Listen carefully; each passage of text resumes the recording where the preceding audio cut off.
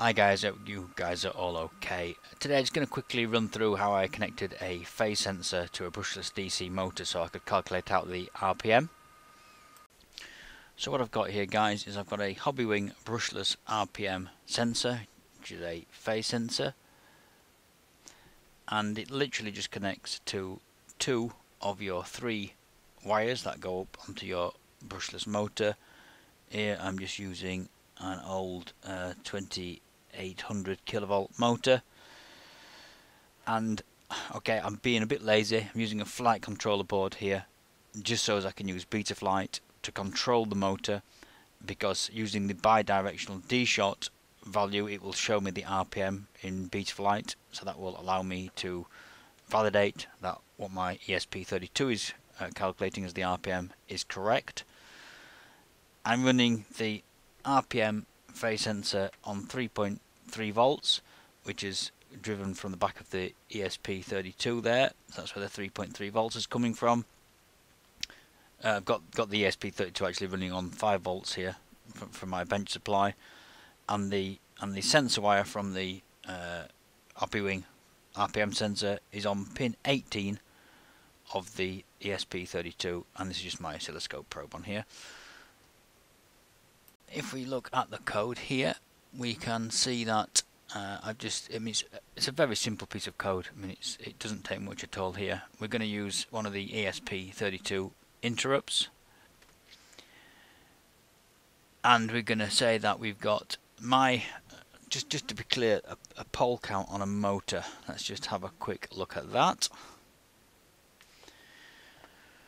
So when we're talking pole counts what we need to do is look at the number of magnets going around the edge of that motor there. So I don't know if you guys can see that, but I've got I've got I've actually got 40. I've got I've got a line there look that goes across and I've got one one magnet. I get a pointer. I've got one magnet there, two, three, four, and if I count around them all, guys, I've got 14 magnets. that's what we're going to call poles. And if we go back to our, our thing, we're saying we've got 14 poles. I've just chose a, a, a digital pin, number 18, pin number 18 on the ESC. I'm going to create a timer variable unsigned long because it's going to hold uh, it's going to call hold millis in a moment uh, we need we need a counter because I'm going to collect a hundred a hundred uh, counts if you like a hundred pulses and then I'm going to measure the time it takes to, to create a hundred pulses. And obviously I'm going to need an RPM variable. This little piece of code here obviously whenever you do an interrupt this is what runs every time it gets a a, a pulse from that uh, that phase sensor. It's going to increase the counter we've got a little bit of setup code here. This this sets up the inter interrupt pin. So so we said that interrupt pin was number 18, pin number 18, and I want it on a rising edge, and I want to run this piece of code when every time I, I find the rising edge on that digital pin 18, I want to just increase the counter, and all I've got in my main loop is if the counter is greater than 99, course using greater than because just in case this loop gets a bit bigger and it might be 101 or 102 before it gets there to do the calculation that'd be okay as long as we make sure we, we use 102 to create the average. We want to create a floating point uh, variable. I've just I've, I've separated this in, into two separate uh, lines just so it's easier to read. So we, we create a, uh, a variable a floating point variable. We need to do the next calculation in, in floating point math mathematics because we've got the counter which isn't a floating point uh, variable so it would it would it would force it uh, it, it, would make the calculation wrong because it wouldn't use floating point maths whereas we need to do so because we, we're going to take the current time timer in the system millis by the timer that I set here.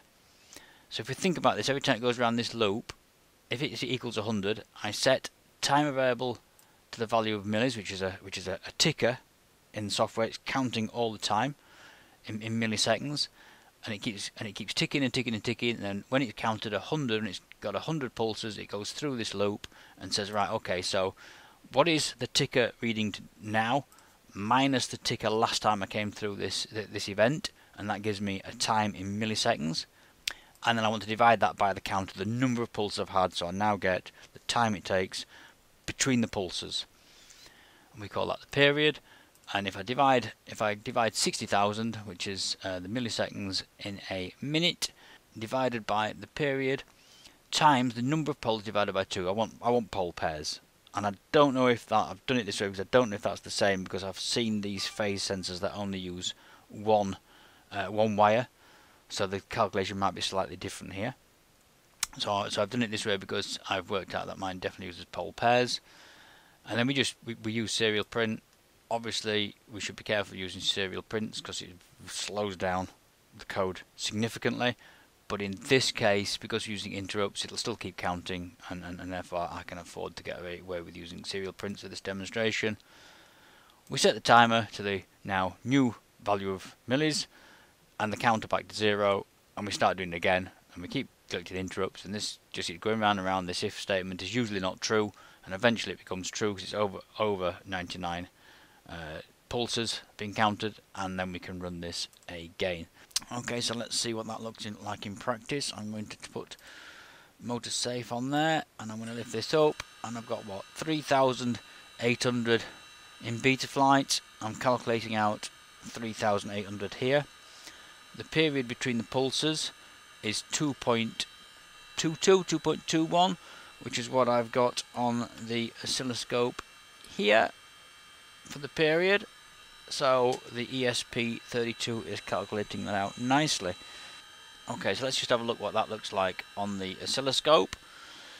So we've got uh, if we put the cursors on here uh, let's have a look and make sure we've got the y-axis ones going. And let's just let's just put that up there. Check the voltage level of the signal is compatible with the ESP32 we've got a 3.3 4 volt delta between the two so we are okay in the range and that's because we're driving the uh, the Hobbywing uh, RPM sensor with 3.3 volts. Again got to be careful with the some some uh, some phase sensors because some of them are 5 volt only. And we intend to use a uh, an ESP32 here for, for this project so I need to get one that that, that works on on that uh, and that voltage. So if I just increase the RPM a little bit then we can see how, how everything changes on the ESP sorry on the on the oscilloscope. And we can see if we if we measure this again let's put the X cursors on just just have the X and we can zoom in a little bit here like that. Let's bring the position over a little bit forward so it's easier to see in the middle. And we'll move those cursors over here. And we can see I've got a I've got a peak of about 0.77 milliseconds. Milliseconds. But what I really want to know is this and this is what we're calling the period in our code so we've got 2.91 there. And if I look at my screen I'm going 2.89 2.91 um, see if I can get that on here for you. So if we use our desktop here you can see I've got 2.89 2.90 yeah, of course cursors aren't ultra reliable on, on, on the oscilloscope so this is this is this is pro probably more accurate. So there we have it. If I uh, if you go back to the oscilloscope if I speed up and, slow down the motor. Again you can see you can see the effects more clearly. Slow right down. It's almost stopped. You can probably hear it in the background. Almost stopped. And there we have it. We've got uh, we've got 6000 rpm 6000 rpm there. Well I think that just demonstrates to be fair how easy it is uh, to use an ESP32 to measure things. And it's the way I used to do things before I bought the uh, very expensive oscilloscope which uh, if I'm honest I'm trying to find things to use it for because uh, it's sometimes just easier to write a few lines of code and get what you need really quickly, uh, especially when I'm usually using some sort of microcontroller anyway. Uh, but